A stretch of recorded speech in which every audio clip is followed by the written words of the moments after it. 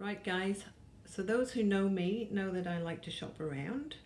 Um, I like to look for a bargain and I like to try out things. I'm a big Aldi fan, Woolies fan. I like um, nice things like Jamie Oliver scan pans that I'll pay hundreds of dollars for. It just all depends on our taste. But I just wanted to talk about this little fellow. It's um, from Mistral and I bought it in Woolies. I live in New South Wales in Australia and the price there was $49.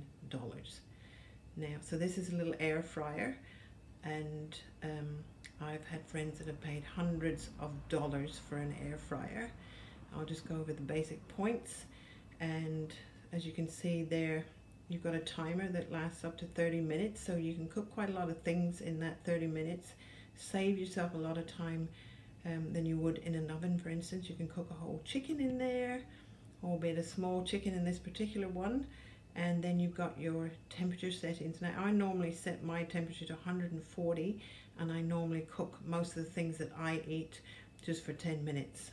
Right. So here you can see that I've actually removed the basket and the basket is a four liter capacity and that's based on volume. So you could literally get four liters of water in there but not that you would want to so that's the size that you go on. If you want a really big family size, you'd probably go for a six liter, 10 liter. I'm by myself, so that's absolutely plenty and it's absolutely enough for two people. I've cooked for two people in this.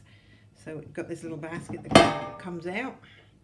So you can wash that easily. So you set your food on top of that little basket.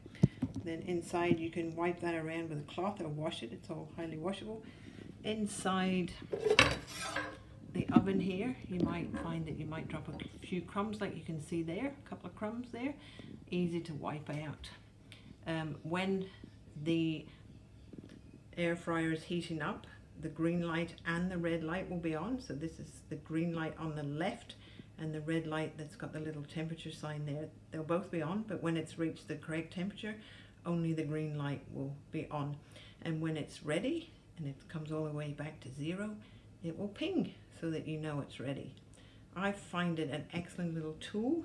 I use it for um, all sorts of things. You can use it for um, chicken nuggets, sausages, as I say, chicken, burgers, anything that you want to fry healthily without using fat. You don't have to use fat and it's just an air fryer so the heat goes all around the food.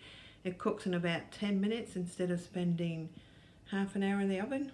You can put chips in there, you can put sweet potato fries, you can put roast vegetables. Literally, you'll get a recipe book and otherwise you can just look up anything that you can put in an air fryer. And it's more or less anything that you would do in the oven or in a frying pan, but without oil and at a fraction of the time.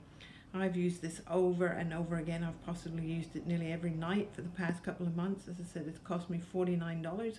It would have saved me couple of hundred dollars already in gas bills because I've got a gas cooker and a gas oven which I love but I absolutely love this little baby. So I would recommend getting yourself an air fryer and please do not overlook this little Mistral air fryer at $49 just to give you an idea of size here are four frozen vegan sausages. I know you'll all probably go, oh my god. But anyway, that's an idea of size. And there's still plenty, there's standard sausage sizes and there's plenty of room all around to put lots more things in there. So anyway, I love it and I urge you to go find yourself. So here I am, I've got the food already in the tray. I'm just about to shut the door and you'll see the light, see the two lights as I alluded to before, they're green and they're red.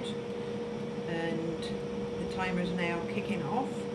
Um, it makes it obviously a sound a bit like a hoover but a lot less quieter. And as soon as you turn it off that sound stops. So I absolutely love it. I'm raving about it I know so I'll shut up and go away. Thank you. I made a mistake. It's actually three and a half liters. I do apologize. It's three and a half liters